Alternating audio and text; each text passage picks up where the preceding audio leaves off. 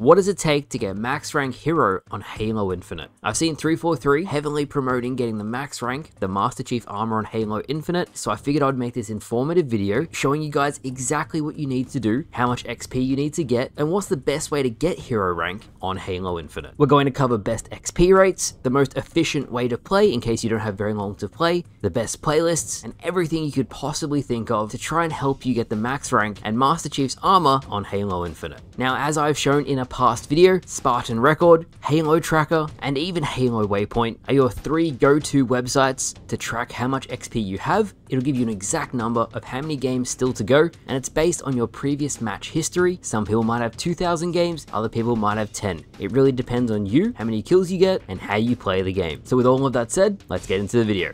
Now, Halo Infinite's progression system is completely different to the rank system. One is based on how much you play, and one is based on the rank playlist in the game. So I've seen some people who are confused, they are completely different. Now, the XP you need to get to hit max rank hero on Halo Infinite is 9,319,350. It is significantly less than past Halo games, but that is completely dependent on how many kills you get. One kill is around 100 XP, assists are 50 XP, and any objectives you capture will also contribute to your overall XP. If you have any double XP boosts, that is another separate system again. Double XP boosts do not work with Halo Infinite's progression system, it only works for the Battle Pass. I had 150 double XP boosts waiting for the progression system, and then 343 decided to make them separate, so don't get confused by that either. Now, if you get 100 XP per kill and you need to get 9.3 million, it's around about 93,000 kills you need to hit max rank. I would say around 90,000, and then all the other assists and objective points you get will be more than enough to hit the max rank. What I was doing was I was trying to aim for 1,000 kills per day. It is a lot of kills, but I'm going to talk about the playlist you can maximize your kills in a second, but that's the way I went about it. Now, something you need to know is that all the big team modes, so big team social,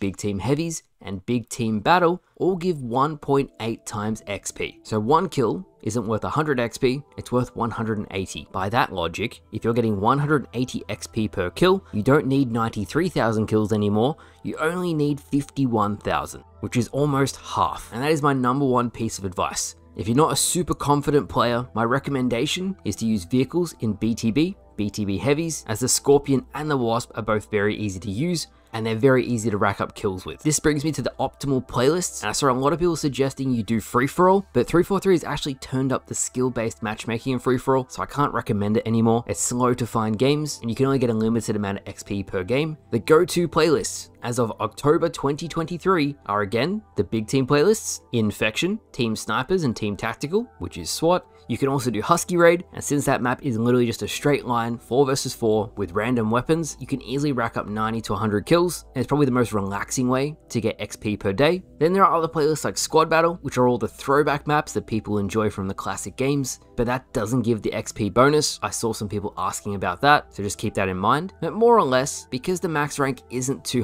in this game, and it is based around kills and how many you get, you could play ranked, you could play quick play, you can play anything you get kills in, and over time, I'm confident you can get max rank. I tried to provide ways that if you don't get many kills, you can maximize your time playing, and then over time, you can knock it out and get the Master Chief armor. As of making this video, only 20 people in the world have this armor. I'm sure much more will get it over time, but hitting max rank in this game is arguably the best reward out of any Halo game. It's one of the first times you actually get Master Chief's armor. You also get some other cool coatings, images on screen now, so it's something to work towards if you do play a lot of Halo Infinite. Hopefully this video was informative, hopefully it was helpful. I saw a lot of people asking for the best way to level up, so now you guys know. So thank you all for watching. I hope you all enjoyed. I'll see you guys later.